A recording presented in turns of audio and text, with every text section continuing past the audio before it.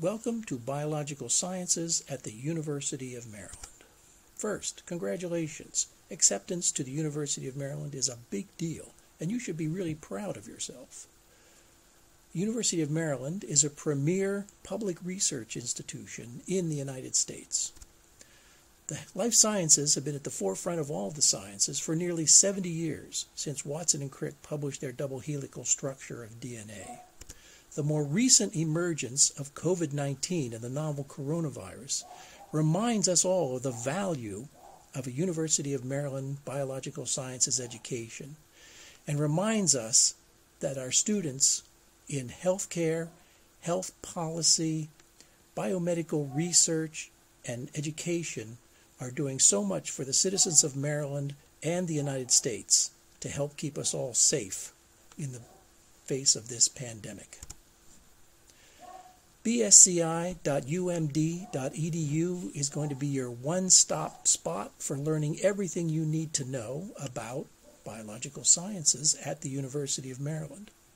You can learn about advising and academics and research and internships and uh, all the things that you need to know to be a solid biological sciences student here at the university.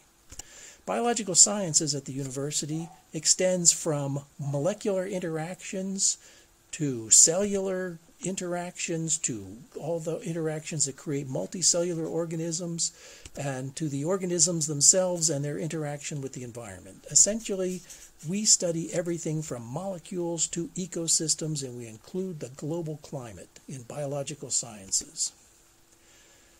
The Biological Sciences program comprises three departments and over 100 research faculty.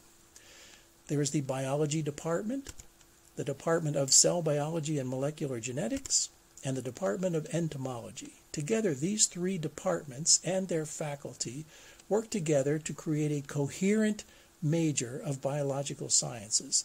As a student, you will take courses taught by faculty in all three departments. Their departmental affiliation will essentially be invisible to you. You won't actually notice this because it's such a highly integrated program. Within our biological sciences program, there are five different pathways for students to achieve a degree. There's the most general, broadest program called General Biology, and then there are a number of specializations cell biology and genetics, ecology and evolution, microbiology, physiology, and neurobiology. If any of these don't meet your needs, students can actually create an individual program by combining courses within the biological sciences with, pro, with courses outside of, of our college and our departments uh, to create an individual major. All of our specializations have the same core of introductory biology, math, chemistry, and physics classes, but differ in their upper level classes. To get a description of all the specializations, to get a list of all the courses that are part of these specializations, and to get model four year plans for how you can achieve a degree, check out bsci.umd.edu slash major requirements. Here is a curriculum sheet for general biology, our most general program we see on the, this page the basic program and a series of supporting courses. These courses are the same for all five specializations. They include Principles of Ecology and Evolution with Lab, Principles of Molecular and Cellular Biology with Lab, Principles of Biology uh, 3, which is an organismal diversity course, and Principles of Genetics. Those courses are required. There are additional there are, in addition, some supporting courses two semesters of math, four semesters of chemistry with lab, and two semesters of physics with lab. Once you've made substantial progress along these basic and supporting courses, you can move to the upper level biological sciences courses. This is a partial picture of the list of courses available at the upper level for general biology. There are over 80 courses in uh, biological sciences at the upper level that we regularly offer at the University of Maryland. We can't actually get them all on one page for you to see, so I'm going to take this slice in a uh, of, of the picture so that you can see uh, some of the courses that we offer. Upper level courses in biochemistry and math and statistics, a group of courses in genetics and evolution, a group of courses in cell biology and development, and a group of courses in ecology, behavior, and organismal biology. So, literally, you can take a course on the natural history of the Chesapeake Bay. You can take a course in microbial uh, genetics or a course in cell biology and physiology. Uh, the, the wide courses are wide ranging, and with general biology, you have your widest possible selection of courses. It's so it seems so daunting. Who'll help you through all of this? Well, every student will have an academic advisor. For the first two to four semesters, you'll have a professional advisor in the college student services office who is trained to work with students like you transitioning from the university from high school.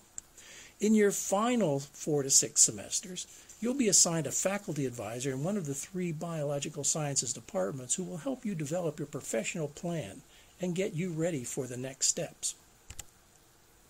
Who teaches your classes? All of your biology, chemistry, and physics classes will be taught by PhD holding faculty. We do not have graduate students teaching courses. We do not have postdoctoral fellows teaching courses. They are all taught by PhD holding faculty. Many of our courses are broken down into laboratories and discussions, which will be led by graduate students and, in some cases, undergraduate students. A question that we always get are how big are the classes? Well, the classes range from fewer than 20 students to more than 250 students. Many of our introductory courses are large but they do get smaller as you progress through the program. Now, many of you might be intimidated by this number. Large classes is something you're not used to. You're used to high school classes, which may have 30 or 35 at the most. 250 seems awfully intimidating. But honestly, there are ways around the size issue that make you feel comfortable. Strategies as simple as sitting up near the front of the class so you don't actually know what's going on behind you. And something that's little thought of is that for those of you thinking about medical school and dental school, those classes typically have between 100 and 150 people in them. Our students go into these programs and they know how to be successful in that environment, and they're successful from day one. Students who go to school with small, more intimate classes may have some advantage over the larger classes, but not once they get to medical school or dental school. All of our larger classes are broken down into smaller weekly laboratory or discussion sections, typically no more than 24 students. And many instructors break the lecture classes down into smaller groups for hands on active learning demos and modules. So even if you're in a large class, you'll often be broken into smaller groups to try and uh, initiate uh, more active learning. Does UMD accept prior learning credit? Absolutely. UMD is very generous, accepting many advanced placement and IB International Baccalaureate credits. Here's the website for to get the information on all of the tests that you might be taking. Generally, a 4 or a 5 on the AP exam or a 5, 6, or 7 on the high level IB exam earns credits. UMD also accepts dual enrollment and community college credits, and here's a website that can give you all of the information about how those credits will be applied to your degree. A question that we get all the time is should we retake biology or math classes that I earned AP credit for? And generally the answer is no. You're the final arbiter of that decision. It's going to depend to some extent on how you feel about your experience in that AP course but generally the answer is no. We have data from many years that says that first year students coming to Maryland with AP credit for biology, calculus, chemistry are ready to take the next classes and be successful in those classes. About 50% of our students come in with advanced placement credits, and they generally end up being at the upper end of the grade distribution in the next class. So using AP credits gets you to more advanced classes sooner and frees you up to study abroad, add a double major or a minor, get more involved in research, or do other engaging activities that are going to enhance your future prospects. such as research and internships. Our three departments have dozens of faculty labs that accept undergraduates as colleagues and research assistants. You can check out these departments at cmns.umd.edu. And if you're interested in research, and we encourage all of our students to at least taste research, we encourage people to get in as early as possible, generally within the first couple of years. One of the great things about biology is that it's available in other departments outside of the Department of Biology and the Department of Cell Biology, etc. You can find biology research all over campus in animal sciences, bioengineering, electrical engineering, kinesiology, nutrition and food science, physics, and psychology. Additionally, there are labs all over the Baltimore Washington metro region in various universities such as Georgetown and GW and Johns Hopkins and University of Maryland Medical School, as well as federal research labs, National Institutes of Health, National Institutes of Standards and Technology, the Food and Drug Administration, the Walter Reed Army Institute of Research, and the Smithsonian Institution. Students go into these programs and are highly successful. And what can you do with a degree from UMD? Most of our students come in interested in careers in health medicine, dentistry, nursing, physician assistant, optometry, physical therapy, sports training, etc. All biological sciences specialization strongly prepare students pursuing the health professions. Our system of uh, required and supporting courses, as well as many of our upper level courses, complete all the prerequisites for all of these programs. So you don't need to go outside of the major in most cases to complete all the requirements to get into these schools. There is a Health Professions Advising Office, the HPAO, uh, that has all the details. I've given you the website here, and they have also created a recruitment presentation that you should view. You'll see that Maryland ranks very highly among its peers in terms of the numbers of students, the percentage of students that get into professional school. Other popular careers include research, teaching, law, especially environmental law and intellectual property law, and business. Essentially, a degree in biological sciences from the University of Maryland is highly sought after by employers because our students are flexible, our students have uh, critical thinking skills, they have problem solving skills, and they're used to working in groups together. All kinds of things that employers are looking for. How easy is it to study abroad? It is really easy. There are programs for everyone. There are semester long programs, year long programs, summer programs. And for those of you who don't seem to think that you can fit in any of these programs, there are short term programs of one week, two weeks, three weeks that can fit into spring break or fit into the January term between fall and uh, spring semesters. Talk with your advisor about the best time to go abroad for you and your future. I've presented the website here for the Study Abroad office that gives you all kinds of information about the, the literally hundreds of programs you can choose from. How does biological sciences being a limited enrollment program affect me? Well, it might be a limited enrollment program, but it is not a limitation. Students are either directly admitted to the biological sciences program or transfer in after taking a series of gateway classes. Gateway classes are exactly the same classes taught by exactly the same faculty taken by the directly admitted students. If you are successful in those classes, you will be automatically taken into the major when you've completed those classes, which usually takes um, two to four, two to three semesters.